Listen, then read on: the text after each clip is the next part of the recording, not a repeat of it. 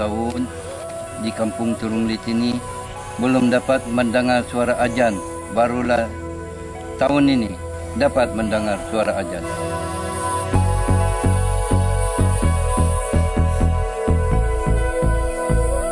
Masa ini kami macam sedih betul. Sampai menangis, Pak, mendengar suara ajan ini. Sampai rumah ke rumah itu menangis mendengar suara ajan dari masjid ini. الله أكبر الله أكبر.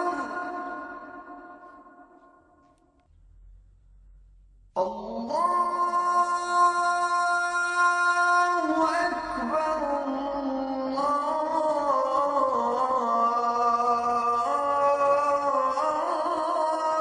الله أكبر.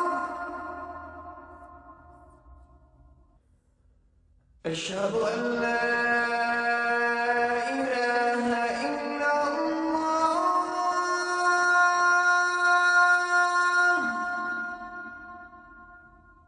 Dulu, ya dulu memang benar.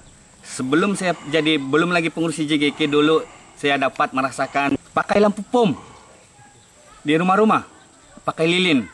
Tapi alhamdulillah sekarang ada sudah solar.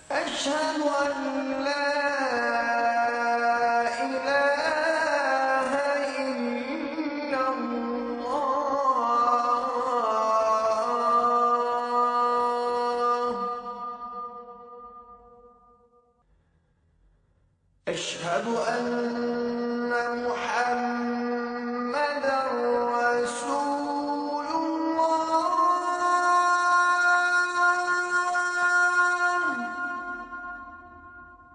Saya juga amat berterima kasih kepada Barisan Nasional di bawah pucuk pimpinan yang amat berhormat Datuk Najib begitu prihatin kepada penduduk kampung walaupun jauh di persisiran pantai ini dapat menikmati sedikit uh, pembangunan seperti Belai Raya, uh, Mini Diwan dan juga lampu-lampu solar.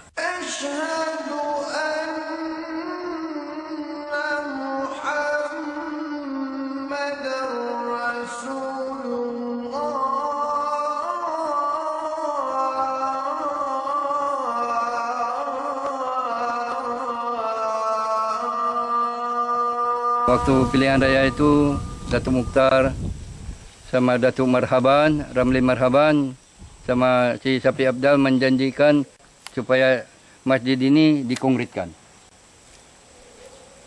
Sama anu kuburan untuk dipagar. Dia orang janji. Sampai hari ini tidak ada dia orang buat. Jadi itulah kami sekarang siapa yang orang-orang kerajaan datang kami tagilah kenaan dengan tenaga solar. Pertama sekali yang kami terima di kawasan sekolah. Ha, yang kedua di bahagian kampung lah.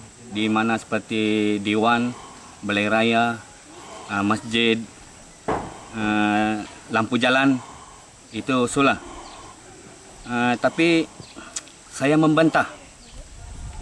Saya membantah penggunaan solar yang menggunakan baterai pelambam. Di mana di saya tahu di sekolah kami dia menggunakan baterai pelambam. Itu membahayakan kepada persekitaran pantai dan juga uh, orang-orang uh, kampung. Jadi saya tidak mau orang-orang kampung saya cacat.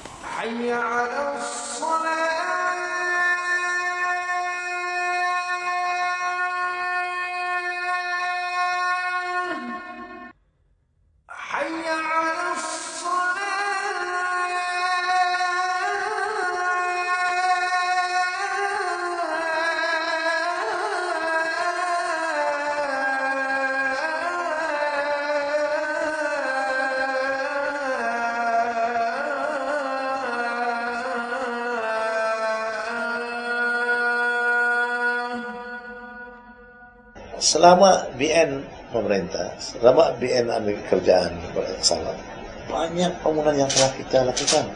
Banyak pembangunan yang telah kita berikan kepada rakyat. Di rakyat sedar. Sekolah-sekolah, hospital, jambatan, jalan raya, everywhere. Bukan saya disedahkan ini, tapi seluruh negeri sana. Hayya